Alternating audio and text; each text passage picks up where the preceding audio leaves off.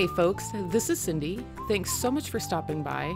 I'm so excited to be back for another W plus 9 guest design video and today I'm going to be showing you how I built this big beautiful bouquet on top of this stitched ice cream ice cream cone die cut.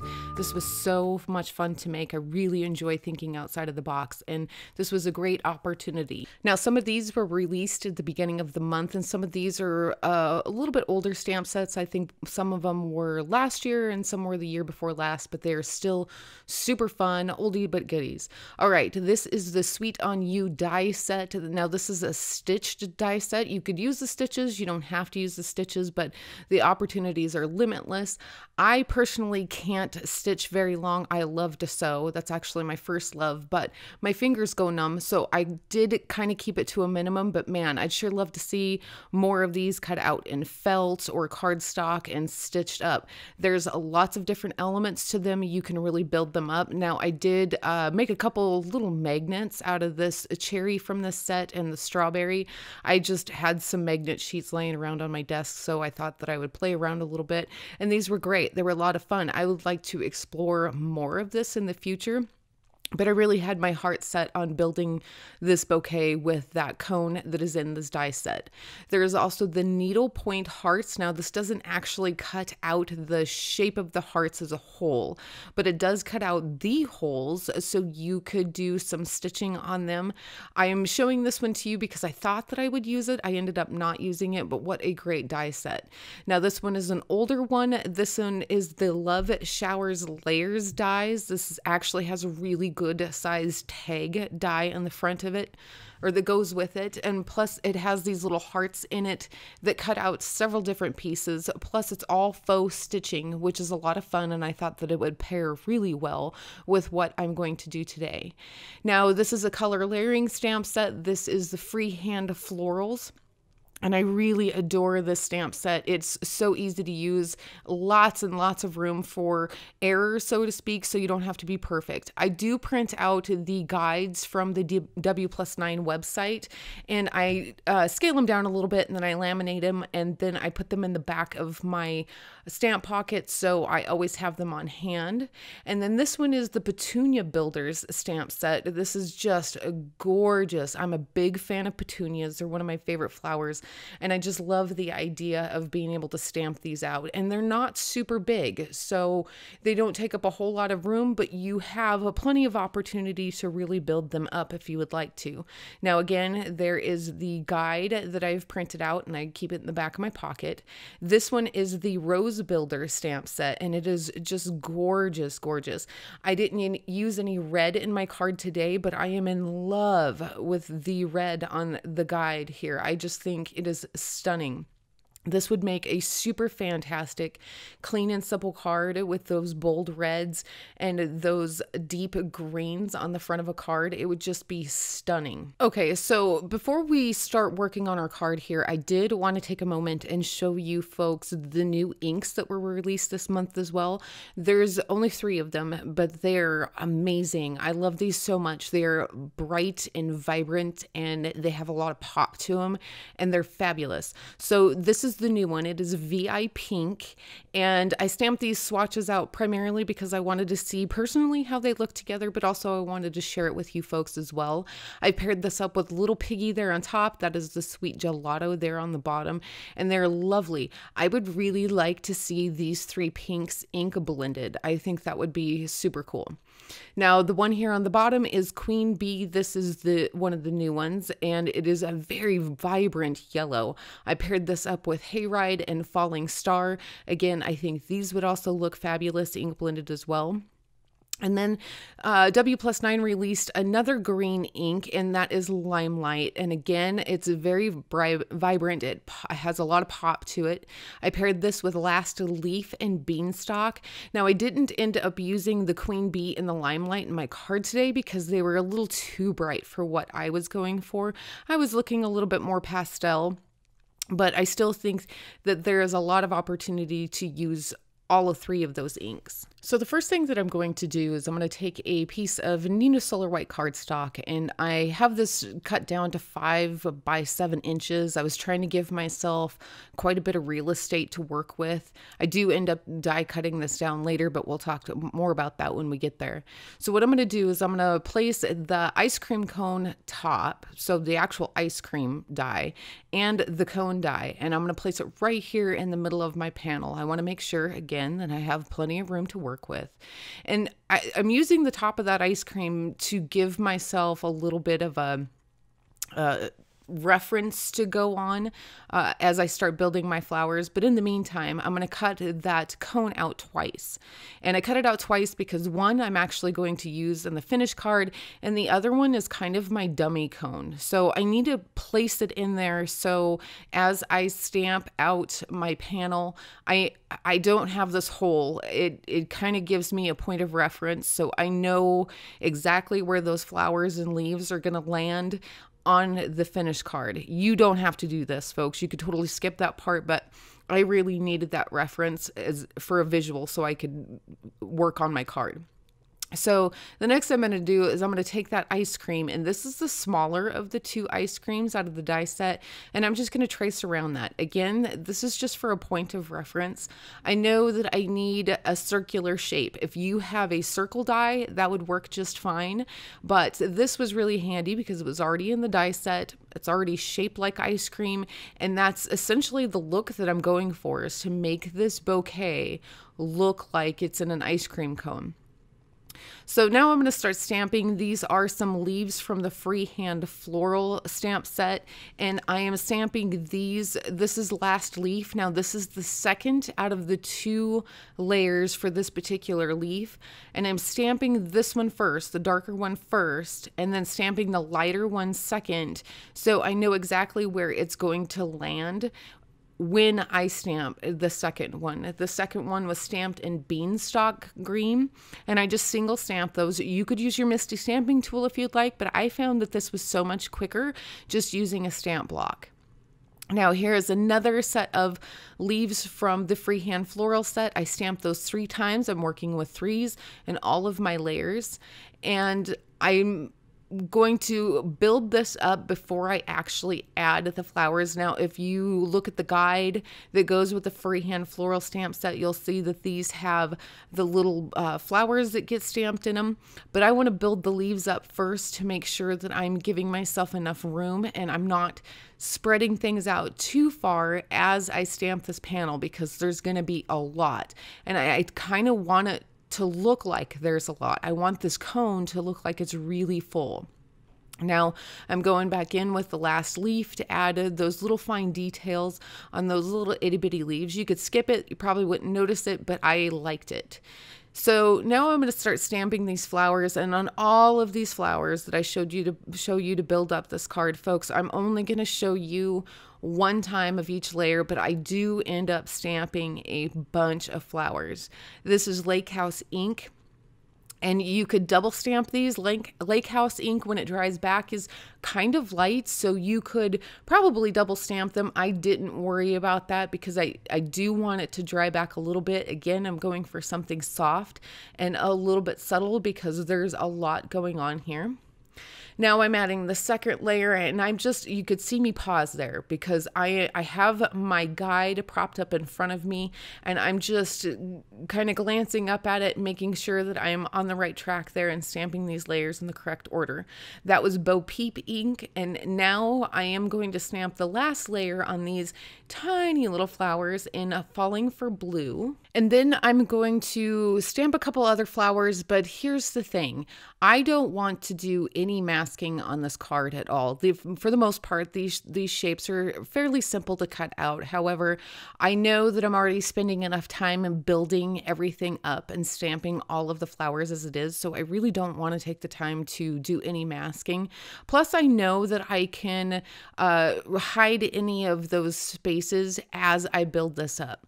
So right now I am stamping those little flowers in the VIP or the VI pink ink And then I'm going to stamp the second layer of those in Sweet Gelato. This both of these colors are really deep and bold and they're so pretty.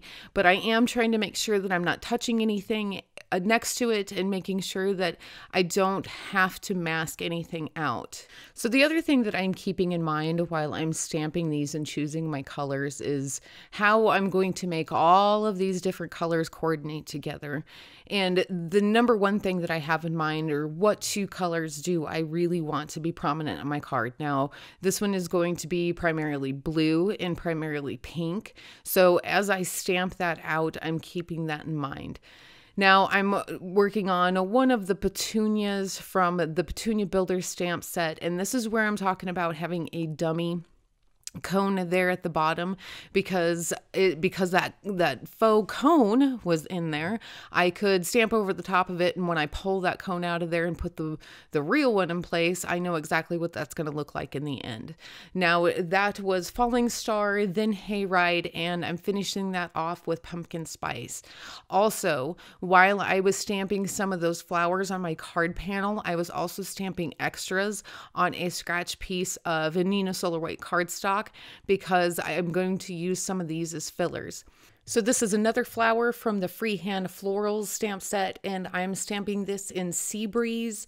The second layer is Ocean Drive, and the third layer is Siren Song. I really love these blue greens together. They are so pretty. So I'm just stamping a bunch of them. Like I'm probably stamping more than what I probably need, but I want to be able to make sure that I have as many as as possible on hand because I while I know that I'm going to build this up and I know what shape I want it in, I'm not 100% certain how all of that's going to look until I start putting it together. So for these flowers, again, this is from the Freehand Florals. I For this one, I actually ended up using Hayride, Miami Spice, and Pumpkin Spice. Now this is real close to what those yellow petunias were. I just kind of uh, shifted the color choices a little bit because I wanted them to tie in. Now that being said, uh, when I got done stamping these and they dried back, you couldn't really tell too much of a difference between the two flowers. Now I'm going to fussy cut all of these out. Word of advice, folks get the dies. I always tell myself, I don't need the dies. I never get the dies. I should definitely get the dies. Save yourself a little bit of time and a little bit of headache and get the dies. It is so much easier. Now, since I need a little bit more blue in my card, because as I said, I was going to make sure that primarily my colors were going to be blue and pink, I am going to stamp one of or two of the roses from the Rose Builder stamp set. And I'm using the same blues that I did on those little blue flowers on the card itself. So this is Lake House, Bo Peep, and Falling for Blue. However, there is a fourth layer in the Rose Builder stamp set for these flowers, and it's it's the last one, and I wanted to make sure that it was going to be a little bit darker, so I stamped that nautical navy you kind of get a good idea how dark that nautical navy is because there's one there in the lower left corner that my hand is now covering up. That is nautical navy. It's pretty dark, but it makes a great shadow color. So and now I'm going to start uh, coloring in my little cone here. This is my for real cone. This is the one that's going to go on the front of my card panel. You could totally ink blend this if you would like, or you could go direct to paper. You could also cut this out in felt. That would be awesome as well. I had my Copics handy, so I pulled those out. I'm using E31, E23, and E25, and this is super, super sloppy Copic coloring. I just need to get the color on there. I do want to make it sure, make it look like it has a little bit of highlight, uh, a little bit of depth to it, so it, it gives the card a little bit more character, but I didn't put a whole lot of effort into it. It doesn't need to be fancy because I am going to cover up some of this with stitching. And this is DMC floss. This is L437. I was actually hoping for something a little bit darker, but I can't find all of my floss again, since I don't sew that much much anymore. I have no idea what happened to any of it. I think a darker color would be really cool. I'm just going to tape the ends of that down on the back there. Nobody's ever going to see it. It's going to be completely hidden, so it's not a big deal. Making sure everything is cleaned up and I don't have anything sticking out the sides of my die cut. It's really sloppy. I, I don't know. I think I broke my fingers a couple years ago, and ever since then, I hold a needle in my hand and my fingers go completely numb. It's a total bummer. So I just kind of had to throw that together. I did put some double sided adhesive on the back of my panel, including that opening where that die cut's going to go, because I'm going to use that adhesive to hold my die cut in place. I did trim down this panel with one of the dies from the gift card layers die. It's an A2 size. It's perfect for the front of it. Now I'm going to start building up my flowers and I'm going to use 3M foam tape to build all these up. Now here's my theory. There's uh, the first layer is everything that's stamped on the card. The second layer I'm actually going to glue directly to the card. However, it's my second layer. Hope that makes sense. My third layer is going to be like that blue green that gets two layers of foam tape on them because I need to have those popped up. And then the last layer is going to be that last rose, and it only gets one because I don't want to keep adding layers upon layers upon layers to the point where my heart is super bulky and it looks kind of awkward because we don't we don't need to add so much foam tape to give the eye the illusion that there's lots of dimension there. Uh, just simply layering them and making sure that you're using the right kind of uh, dimension in the right places is going to give that uh, the eye that illusion already, if that makes sense.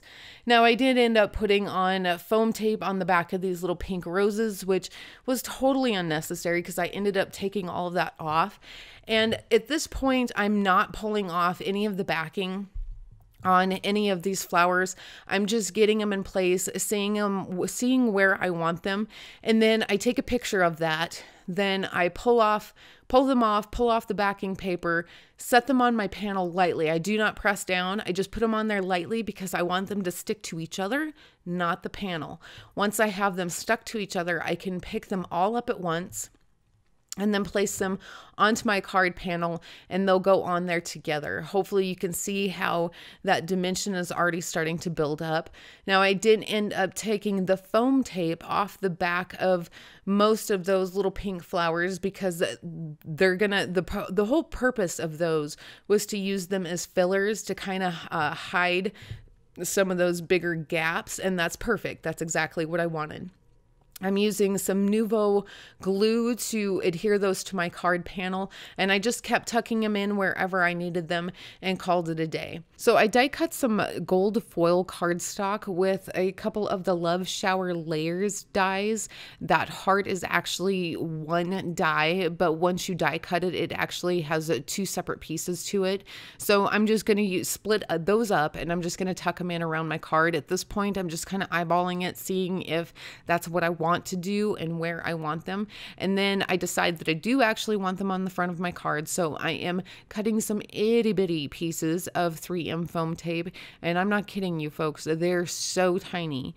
But I want to see exactly how that's going to work on my card. And then I decided that I wanted over on the left a little bit because that petunia is uh, just behind that cone. So I need to balance it out. Now, before I attach those onto my card, I'm going to make sure that I have all of my other uh, little details done on my card. And that was Spectrum. No, it was not Spectrum. It was Nuvo Glitter Gloss. And I just added those to the inside of all of the flowers. So all of the darkest parts of the flowers. Then I took some Gelly Roll pens and pins and added some details to the little pink flowers around the card. Now this uh, little uh, pink flower there, it wasn't staying in place. So I put a whole bunch of the Nuvo glue back behind that and I'm just going to leave it to dry. It's a lot, but this in this case, it'll make sure that everything stays in place. Now I'm ready to attach all of my little gold embellishments there.